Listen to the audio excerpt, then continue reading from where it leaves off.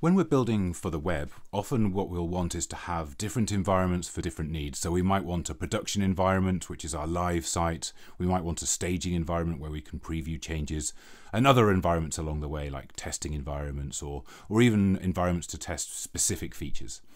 The way that we do that at Netlify is that we build on top of the Git model. So we actually create a new instance of your site for every branch that you create. But you need to, to tell the Netlify to do that. So let's uh, let's have a look at doing that now. I'm going to do that for a site we've created earlier. I'm looking at this this site, the Vaporium. Uh, this is what it looks like currently.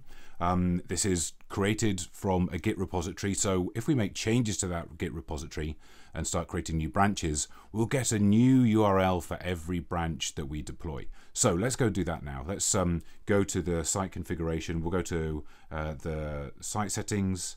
We'll go to uh, build and deploy. And then in our deploy context, we get the chance to do some configuration. So let's edit that and we can see that we've specified that the main branch is our production branch. In fact, this was picked up automatically from, from uh, the Git repository, but we can configure that here. There's some options we've got for deploy previews. We'll come back to that in another lesson. For now, what we're interested in is our branch deploys. So currently we're set to uh, only deploy the production branch. We could choose specific uh, named branches that are uh, that exist in our repository, or we can tell Netlify to just watch for all branches that created uh, created in that repository and create a build for each of those. So let's uh, let's do that.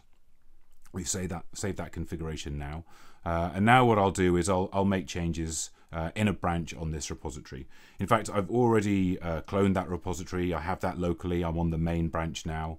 We can see our, our source code here. It's just a, a simple site with just a few, few assets. Um, and I'm going to make some changes here. But what I'll do is let's, um, let's uh, make a new branch. Let's call it staging. And effectively, this is going to give us a staging environment in uh, the Netlify uh, CDN. So we'll go and uh, move over to that uh, branch. Uh, okay, let's make some changes. So let's perhaps change the title of the site uh, from one product to view them to rule them all. Let's call uh, that. Let's call that the the Vaporium. Okay, and let's maybe make one more change that's a bit more visible. Uh, maybe in our product description, fancy handmade coffee mug. Okay, great. Save that change. And we can uh, copy updates, make that commit, and we'll push push our repository, uh, push our, our branch to publishing it. Let's go and take a look in our Git repo. Here we are, our staging branch has arrived. Uh, and since we've made that change in uh, Netlify, uh, we should also see, if we go to our deploys, that yes, we now have uh, a branch deploy uh, happening on the staging branch. We could go off and we could see what code had changed.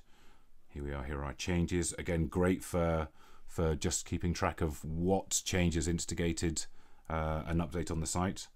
Let's go in and actually see the build happening. Okay, that's done already. Uh, and we see now that we've got a link to a branch deploy. So we can go to that and the difference between the, uh, this is our production version on this URL, and then our staging one, um, we have now a URL which is named according to our branch name. So we have the branch name, dash dash, and then the site name. Um, if you had a custom domain name here, you could put this on a, a subdomain. This is just how things work by default. But now you'll see that we've got you know a different thing being served uh, on different uh, on our different uh, environments. Both of these are propagated out to the CDN, uh, the Netlify's uh, Edge uh, CDN. Effectively, we've got different code operating in different instances of the site, but both in the same environment. So really, we have a real like-for-like -like comparison uh, of uh, of the different environments. This is great for keeping environments in step. Um, I know it can be a challenge otherwise when you've got complex infrastructure to keep in check. But here, with uh, with this uh, approach from Netlify, what we can do is for every every branch that we create, we will get a, a different URL in, that tracks the head of that branch. So this is a useful thing for lots of things to come, um, and we'll pick up on those in another lesson.